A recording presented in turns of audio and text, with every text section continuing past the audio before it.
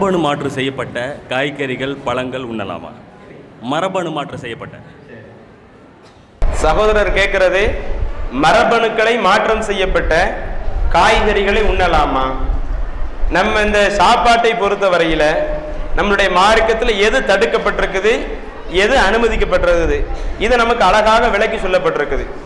எப்படி விலக்கி சொல்லப்படுது? பொதுவாக நமக்கு உணவாக எந்தெந்த பொருட்கள் இருக்குமோ எல்லா உணவும் நமக்கு சாப்பிடுவதற்கு அனுமதி. இறைவனும் இறை தூதரும் தடுத்த உணவு விஷயங்களை தவிர அல்லாவும் அல்லாவுடைய தூதரும் எதை தெளிவாக தடுத்தார்களோ தடுக்கப்பட்ட பொருளை தவிர மற்ற பொருட்கள் அனைத்துமே நமக்கு உண்பதற்கு அனுமதி. இப்ப எவைகள் எல்லாம் தடுக்கப்படுது? நீங்க அதை குரான் வசனத்தில் எடுத்து பார்த்தீங்கன்னு சொன்னா ரத்தம் இருக்குதா இல்லையா? அந்த ரத்தத்தை இறைவன் தடுத்திருக்கிறான். இன்னைக்கு கூட பெருமை சோதனை என்ன செய்வாங்க? சில கடைகள்ல ரத்தத்தை கூட பொறிச்சு வைப்பாங்க. அந்த ஆட்டு அறுத்ததுல வரக்கூடிய ரத்தங்கள் இருக்கும்ல. மாட்டு அறுத்ததனுடைய ரத்தங்கள் இருக்கும்ல. அந்த ரத்தத்தை கூட பொறிச்சு அதை சாப்பிடக்கூடிய ஒரு பழக்கம் அவங்கள்ட்ட இருக்கும். ஆனா நம்மளுடைய மார்க்கத்துல ரத்தம் என்பது அது தடை செய்யப்பட்ட ஒண்ணு. அதே மாதிரி ஒமா உகில்ல நீ கயிறில்லாகி அல்ல அல்லாதவர்களுக்காக அறுக்கப்பட்ட உணவுகள். அந்த உகில்ல என்ற வார்த்தைக்கு இரண்டு அர்த்தங்கள் உண்டு. ஒன்னு அல்லாஹ் அல்லாத மற்றவங்களுக்காக அறுக்கப்பட்டது. இது ஒரு அர்த்தம். இன்னொன்னு அந்த பூஜை செய்யப்பட்டதுன்னு இருக்குதுல்ல அல்ல அல்லாத மற்றவங்களுக்காக சப்தமிடப்பட்டது.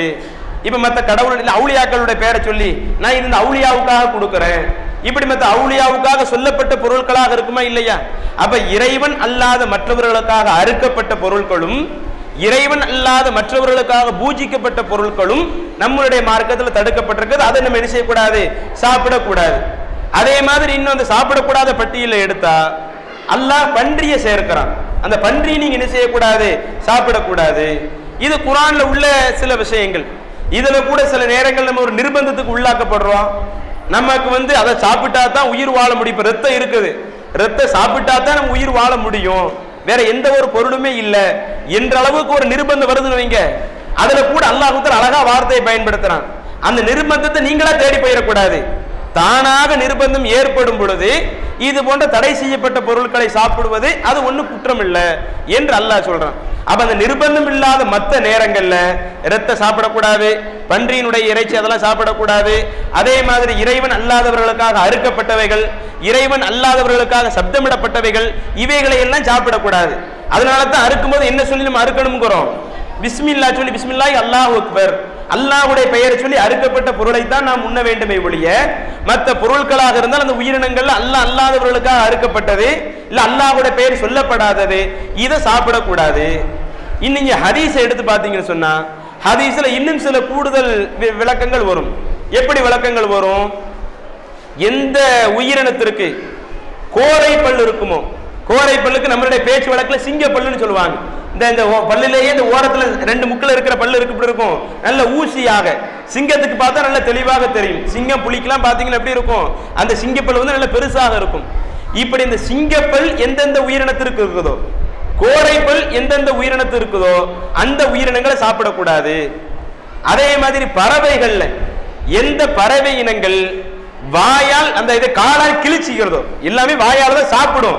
ஆனால் அந்த சாப்பிடக்கூடிய பொருளை காலால் கிழித்து சாப்பிடும். உதாரணம் சொல்றதா இருந்தா காக்கா நம்ம அடிக்கடி பார்த்துருப்போம். வீட்டில இருந்து கோழி குஞ்சு எதுவும் வளர்த்தோம்னு வைங்க. கோழி குஞ்சு தூக்கிட்டு போகும். கோழி குஞ்சு தூக்கிட்டு போய் காக்கா என்ன செய்யும்? காலால ஃபர்ஸ்ட் கீறும் காலால கீறிட்டு அடுத்து என்ன செய்யும்? சாப்பிடும். அதே மாதிரி மயில் இனங்கள் இருக்குதா இல்லையா? அந்த மயில் இனங்களும் ஒரு பொருளை சாப்பிடுவதாக இருந்தால் அது காலால கீறி விட்டு அடுத்து சாப்பிடக்கூடிய பொருளாக இருக்கும். இப்படி எந்த பறவை இனங்கள் காலால் கீறி கிழித்து சாப்பிடுகிறதோ இந்த பறவை இனங்கள் உங்களுக்கு உண்பதற்கு தடுக்கப்பட்டிருக்கிறது. அப்ப இப்படி உண்பதற்கு தடுக்கப்பட்ட பட்டியல பாத்தீங்கன்னு சொன்னா அந்த பன்றி ரத்தம் அல்ல அல்லாதவங்களுக்காக அறுக்கப்பட்டது அல்ல அல்லாதவங்களுக்காக பூஜிக்கப்பட்டது சிங்கப்பல் உள்ள ப- பிராணிகள் அதே மாதிரி அந்த பறவைகள்ல காலால கிழிச்சு சாப்பிடக்கூடிய பறவை இனங்கள் இவைகள் தடுக்கப்பட்டிருக்குது. இது அல்லாம இன்னும் ஒரு பொதுவான ஒரு தடை. என்ன தடை? வலா துல்கு ஐதிக்கும் இலத்தகுழுக்கா நீங்கள் உங்களுடைய கைகளை நாசத்தின் பக்கம் போடாதீர்கள். எதை சாப்பிட்டா உங்களுக்கு அழிவு வருமோ? எதை சாப்பிட்டா நீங்க செத்து போவீங்களோ? அந்த மாதிரியான பொருட்களை சாப்பிடாதீங்க. இன்னைக்கு விஷம் இந்த பட்டியலில் வருமா?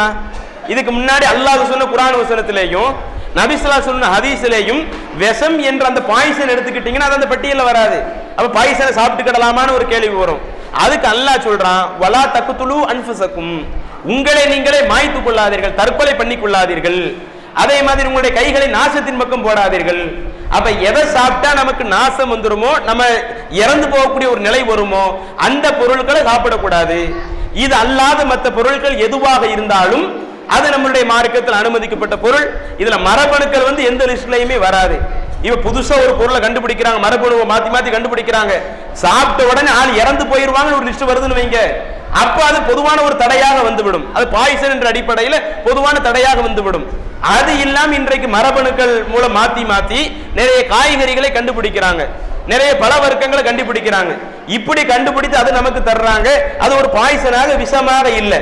இதை சாப்பிடுவதற்கு மார்க்கம் என்ன செய்யல நம்மளை தடுக்கல? அது நம்முடைய உடலுக்கு கேடு தரும் நமக்கு ஒரு அழிவை கொண்டு வரும் என்று இருந்தால் அதை தவிர்த்துக்கிடுங்க. அப்படி இல்லை என்று ஆதாரப்பூர்வமாக நிரூபித்தால் அதை நாம் சாப்பிடுவதற்கு நம்முடைய மார்க்கத்தின் அடிப்பில் எந்த ஒரு குற்றமும் இல்லை. இது அதற்குரிய பதில்.